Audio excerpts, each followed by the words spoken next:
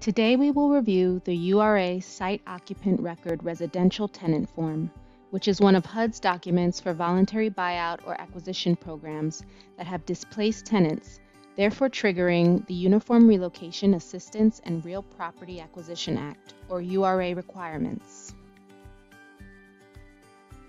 A hyperlink to HUD's Site Occupant Record Residential Form can be found on the Texas General Land Office website at recovery.texas.gov. To locate the document, go to the Local Buyout and Acquisition Program page, which is linked below in the description section of this video. Scroll down to the right side checklist section and check on the URA Site Occupant Record Residential Tenant link. Once you click the link, you will be directed to the document on HUD's website. Download the document. Please note you will need a PDF reader or Adobe to view and edit the document. Federal regulations have a series of information gathering and record keeping requirements to ensure that displaced households have minimum adverse impacts as a result of their displacement.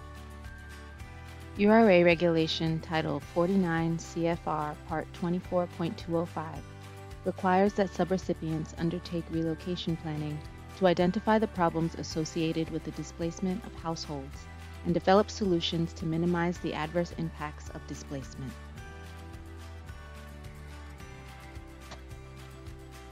Planning should involve a relocation survey or study which identifies the following for the households being displaced. An estimate of the number of households to be displaced, including information such as owner and tenant status, estimated value and rental rates of properties to be acquired, family characteristics, and special consideration of the impacts on minorities, the elderly, large families, and persons with disabilities. An estimate of the number of comparable replacement dwellings in the area including price ranges and rental rates, that are expected to be available to fulfill the needs of the households displaced. When an adequate supply of comparable housing is not expected to be available, the agency should consider housing of last resort actions. And finally, special relocation advisory services that may be necessary from the displacing agency and other cooperating agencies.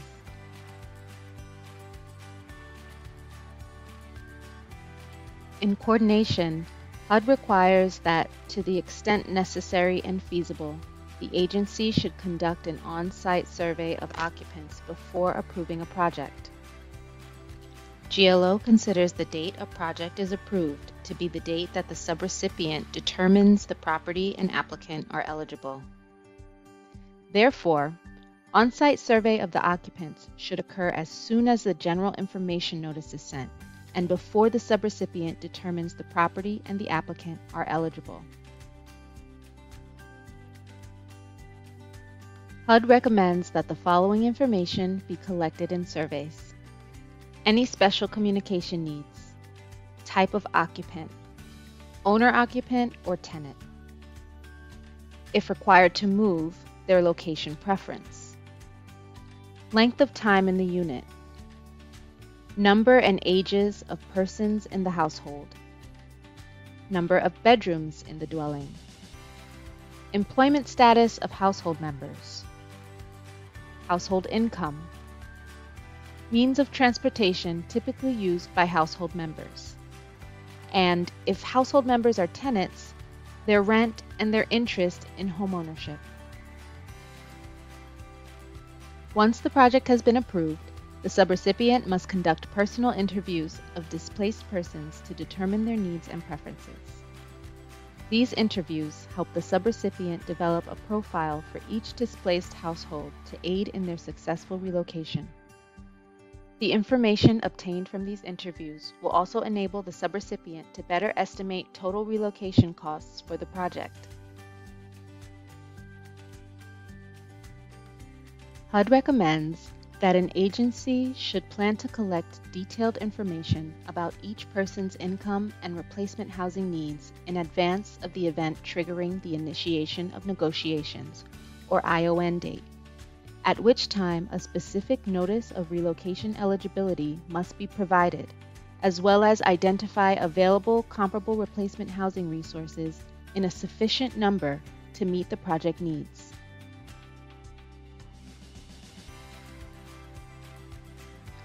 Therefore, in order to provide accurate advisory services and to identify comparable replacement homes, the subrecipient must have performed an interview with the tenant to record the characteristics and needs of the household prior to the initiation of negotiations.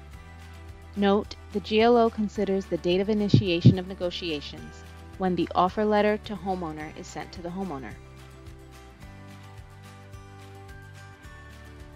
When interviewing residential households that will be displaced, the subrecipient must identify the following significant characteristics.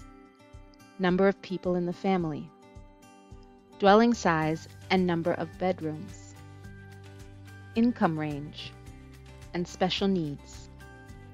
Additional needs to be covered during this interview should include identification and location of children's schools, places of worship, childcare needs, transportation needs, community linkages, family needs, any pets, physical needs, place of employment, and personal desires and preferences relative to the location.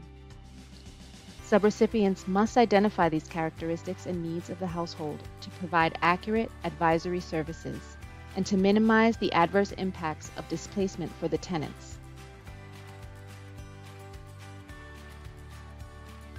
The Site Occupant Record Residential Form is a guide form that can assist the subrecipient in recording the characteristics and needs identified in the on-site surveys and interviews. Any additional relevant needs or characteristics of the household that are not captured in this document should be attached to this document and noted in the case file. Recording all household information and completing this form are to be done in phases. In the first phase, the subrecipient will conduct surveys of the household and gather the previously mentioned information. They will input all of the information gathered from the surveys into this form. Then, in the second phase, the subrecipient will perform more in-depth interviews with the household to record the required interview information. In the third phase, the subrecipient will record all housing referrals for comparable housing. Remember, the housing listed should consider the needs and preferences previously listed. In the fourth phase, the subrecipient will record the selected replacement dwelling that the household moved into and all assistance received. For this video, we will use an example of a fictional applicant and location to explain the form. To begin, subrecipients should complete the top right box in the form with information on the project and application number. For project name, subrecipients should input their project title. For example, we have Rango County Local Buyout Program. Next, subrecipients should input the project number. This is the GLO contract number located in your contract. For relocation case number, you should input the TIGR project number that TIGR will assign the applicant after the application is input into TIGR. Next, in acquisition parcel number, subrecipients can input the local case number assigned if applicable. Then in the next row, the subrecipient should record the date of initial interview. This is the date which the subrecipient first interviewed the household occupants in order to obtain the household characteristics and needs to complete the site occupant record. After the interview, the subrecipient should input the name of the caseworker performing the interview and their position. In the next box, the subrecipient should obtain contact information on the tenant. Next to the name of the occupant, the subrecipient should fill in the name of the head of household as indicated in the interview. In the address row, subrecipients should record the street address of the dwelling where the homeowners reside. For telephone number, subrecipients should record the best telephone number for contacting the occupant. In census tract, The subrecipient should indicate the census tract and block group where the residence is located. In the next box, the subrecipient should indicate the characteristics of the household. Place a check in the box indicating whether the household is a family or individual.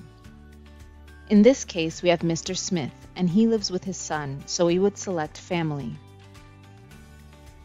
Next, check whether the occupant is an owner or a tenant.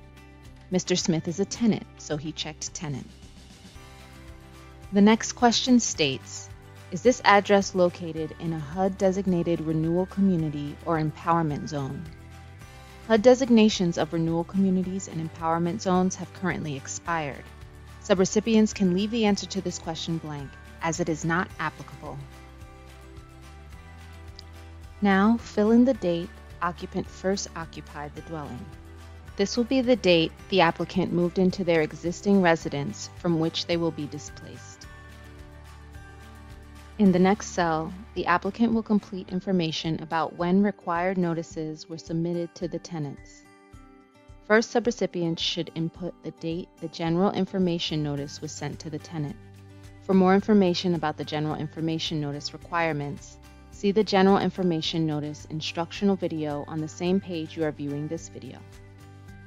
Next, the subrecipient should input the effective date of the notice of eligibility for relocation assistance.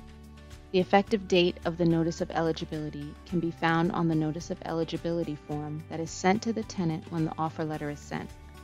For more information on the notice of eligibility form, subrecipients should see the notice of eligibility instructional video on the same page you are viewing this video. Then the subrecipient should input the date the Privacy Act statement was executed the GLO contract requires that subrecipients adhere to security and privacy compliance as indicated in the contract. For the completion of this question, subrecipients should input the date their GLO contract was executed.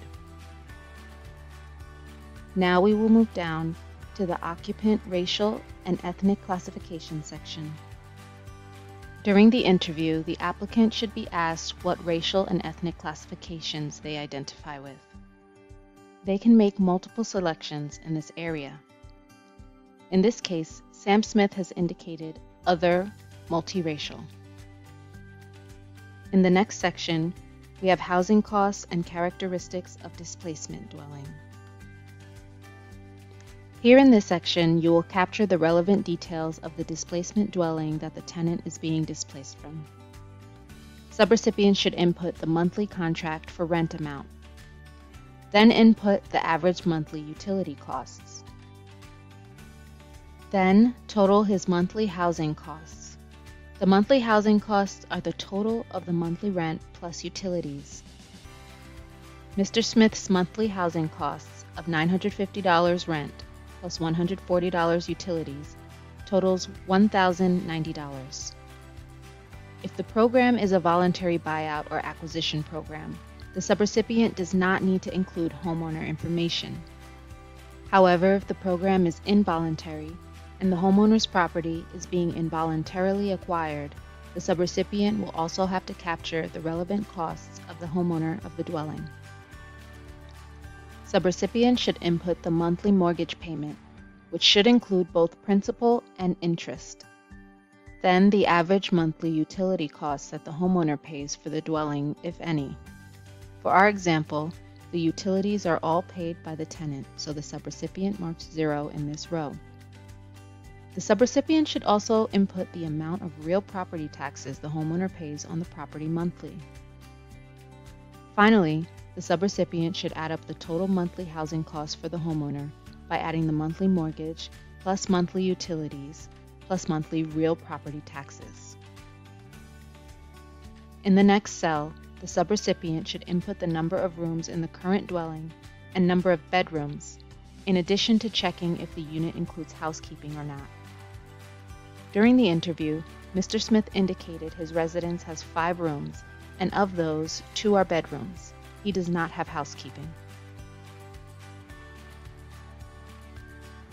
The next section will be occupant characteristics and income information.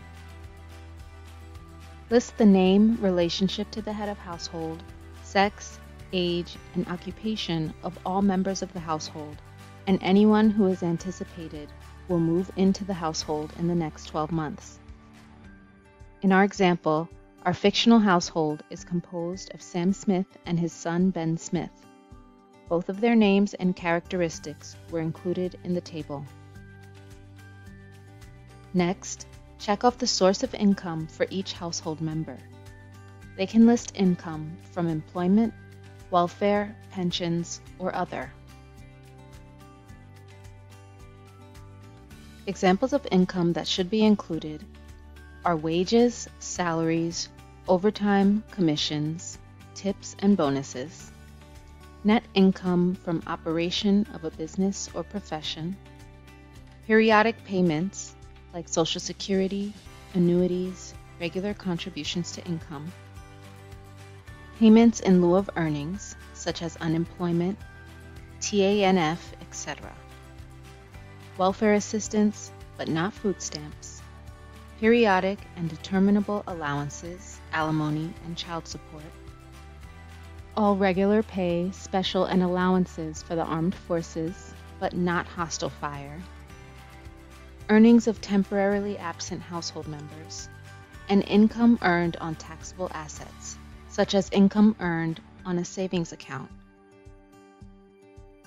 For example, Sam Smith checked employment, and his son Ben indicated in the other column that he received Social Security. Then in the next column, the household members should indicate their gross monthly income from the sources of income indicated. Finally, for all household members that check employment, they should provide the name and telephone number of their employer. At the bottom of this table, the interviewer should total the gross monthly income indicated by all household members. For our example, $1,500 for Sam and $400 for Ben equals $1,900. In the next section of the form, the interviewer should gather and record information on special household characteristics, needs, and preferences to assist in finding comparable housing for the household. In the first cell, subrecipients should list all special characteristics of the household that may affect their housing needs. For example, disabled household members, elderly, no transportation, etc. For example, Ben Smith is disabled and in a wheelchair. The replacement housing need is for an ADA wheelchair accessible dwelling. In the next cell, the family should list any preferences they have for their new dwelling. First, the subrecipient should check off the type of replacement housing the household wants. Do they want to purchase, rent, move into subsidized housing, or do they not wish to be rehoused because they will be moving in with someone else? Then list any considerations or needs that may affect the location of the new dwelling. For our example, Sam's car is not reliable so he wants the location of his new dwelling to be near public transportation for the days he cannot take his vehicle to work. He also does not want to be more than 10 miles from his place of work. Therefore, the interviewer, sensing more information was needed to be able to provide the housing needed, clarified where the place of work was for Sam and included that in the notes. On the next line, Input any other needs or preferences of the family in regard to housing. The family has a pet pit bull named Spot. This has been noted because it is a consideration that may limit the availability of housing. In the next cell, input the rehousing requirements in terms of number of rooms, number of bedrooms, and maximum monthly housing costs or purchase price. Remember that the maximum monthly housing cost should not be more than 30% of the household income. The final number will be determined once comparable replacement dwellings have been selected. However, during this phase, subrecipients must have an estimate of affordable monthly payments for the household. For our example, their monthly household income is $1,900. Therefore, 30% of that is $570. Therefore, the maximum monthly housing cost should be $570 to be affordable. if a tenant indicated that they would like to purchase, a maximum purchase price should be estimated. The purchase price should take into account the maximum monthly housing costs and desired location. A more accurate maximum purchase price will be provided once the comparable units have been selected. See the Notice of Eligibility for URA Relocation Assistance Residential Tenant Instructional video for more information on calculation of maximum payments. The fictional tenant has indicated that they want to rent, not purchased, so they placed NA on this line. In the next section, the subrecipient will list all housing referrals provided as comparable units. All details of the unit and how it is comparable should be provided. Subrecipients must provide no less than three referrals. However, if the subrecipient refuses those referrals, additional referrals may be needed. Remember, if the tenant does not have transportation to view the unit, the subrecipient is responsible for providing transportation and ensuring that the tenant has the capacity to see the preferred units and choose. In the first column, the subrecipient should input the date that the house was referred to the tenant. In the second column, the subrecipient should input the address of the comparable unit, including apartment or unit number if applicable. Then the subrecipient should input the census tract where the referred unit is located. Then the subrecipient should check off the type of unit, whether it is a rental unit for sale or subsidized housing. In the next two columns, the subrecipient should input the size of the unit, including the number of rooms and number of bedrooms. Next, the subrecipient should input the monthly rent plus the monthly utility cost. To determine the utility cost, you will need to use the simple method of utility allowance calculation. One method is through the local PHA utility allowance chart. The utility allowance chart is available from the subrecipient's local service area public housing authority. These charts are HUD approved and are updated by the PHA regularly with local costs of the applicant's utilities. Subrecipients should calculate a separate utility allowance for each of the comparable properties because homes differ in landlord-provided utilities and bedrooms. For our example, all three properties are three-bedroom, single-family, all-electric homes and total $287 for average UA monthly expenses. Therefore, for our example, the rental property is listed at $800 per month and the estimated monthly rental plus $287 for utilities equals a rate of $1,087. Then the subrecipient should check off whether the unit was inspected. All units are required to be inspected prior to providing replacement housing payments. Therefore, once inspected, the selected unit must be marked as inspected for the record. Next, the subrecipient should input the unit available date that is the date that the unit is available for move-in. Subrecipients should confirm this date will be before the required 90-day vacate date of the tenant in their current dwelling, taking into account the time that will be needed to move personal belongings. Then the subrecipient should input whether this is a low-income or minority area. To determine if the new dwelling is in a low-income area, subrecipients should find the most recent dataset for LMISD which is located on the mitigation competition page on the Texas GLO website at the link shown here.